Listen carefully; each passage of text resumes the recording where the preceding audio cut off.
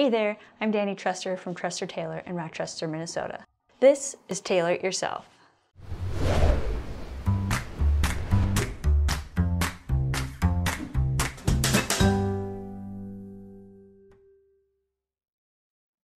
In this video, I'm going to show you how to remove the fuzz or pilling off of a garment using a sweater brick or a fuzz stone.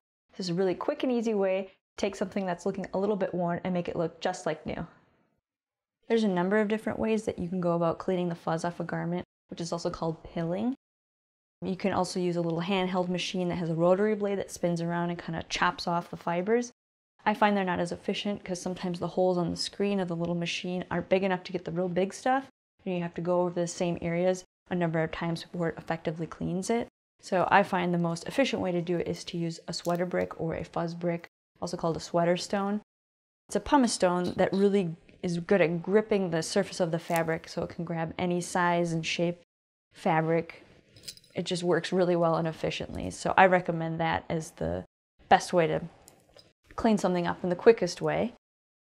So in order to do that, and you can kind of see this whole jacket is really pilled with large pills.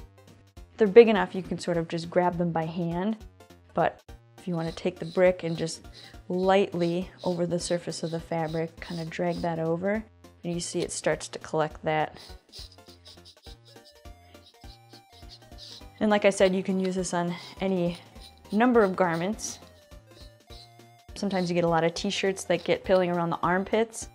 Um, really a lot of polyester and wool garments tend to pill up the most. Um, it, so it really doesn't matter the fiber content, that content that you have. So you might want to go one direction over the garment and then you can go another direction. It kind of picks things up each, each way you go. So you can kind of see this side for this this side, how well that works.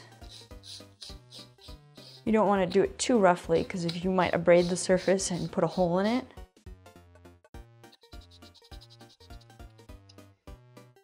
Yeah, you can see it's pretty quickly and easily grab this whole mess of fuzz.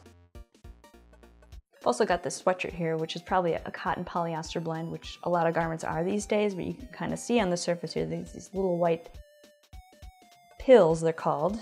So again, you can use the, the brick to kind of run over the surface of that just drag it lightly.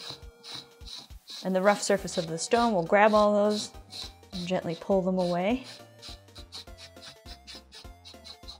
But you can use this on wool jackets, um, knit t-shirts, if you have uh, a lot of times on the inside of a, the crotch of a pair of pants, um, where the thighs can kind of rub together if you have a lot of polyester in the fiber content you can get some pilling there, you can use this on that. It's really any garment that has pills on it, this works great.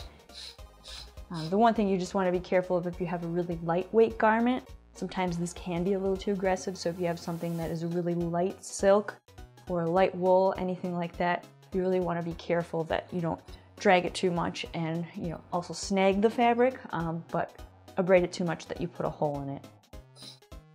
So as you can see on this surface, it's a lot smoother. Those little white dimples are gone. Just a couple of seconds of running this brick over there and it really just looks like new. It's that easy. So it's a really quick, easy trick to take care of your garments and get them looking like new. To get a fuzz brick or a sweater brick, you can go to Amazon or a sewing supply website called Wawak, W-A-W-A-K.com.